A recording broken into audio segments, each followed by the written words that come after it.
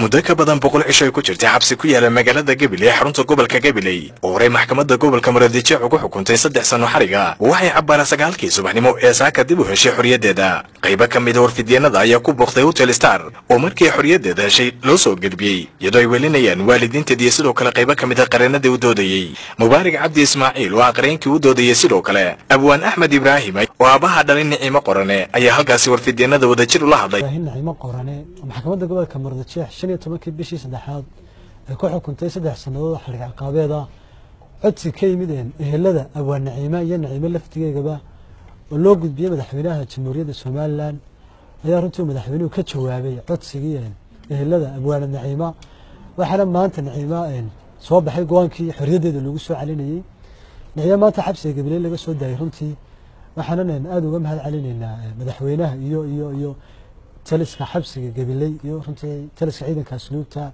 urada xuquuqul insaanka qareenadii kala difaacayey warbaahinta madaxa bannaan iyo runtii cid kastoo af iyo iyo adinba kaga qayb qaadatay sidii ay abwaan naciime axmed ibraahim u heli lahayd xorriyaddeeda marka maanta maasha allah weynantii waxay shifeynala xorriyaddeedii waananu mahad celinaynaa madaxweynaha iyo cid kastoo fudaysay soo deynta naciime kana xumaatay xadhigeyga iyo xukunkii ku dhacay. Sugayahay horta ilaahay baa mahad leh ilaaha maaragtay subxaanahu wa tacaala.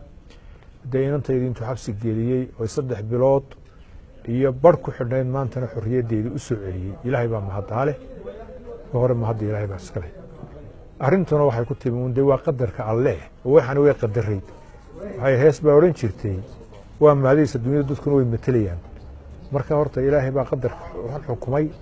Intii la xidhay ilaa maanta ciddii ka qayb qaadatay soo diinteeda xorriyaddeeda inay dib u hesho madax iyo mijaba meel uu joogaba waa u mahad celinayaa. Suuragal ma noqon in warfidyeenada sharaxaad deeriya ka siiso xadhigeeda cime abwaan qorane. Oo iyagoo fulinaya awaamir xukuumaddu soo fartay waa laga hor istaagay inay faahfaahin bixiso nicime abwaan qorane ayaa hore loogu soo eedeeyey inay taageertay dowladda soomaaliya islamarkaana warar ka dhana somalilan ay ku baahisay baraha bulshada. Iyadoona si weyn ururada u dooda dhanka xuquuqal aadamuhu ay uga soo hor jeedeen xadhigga ku dhacay nicimo qorane oo faysal maxamed aadan faysal fifa tv-ga caalamiga ee cable magaalada hargeysa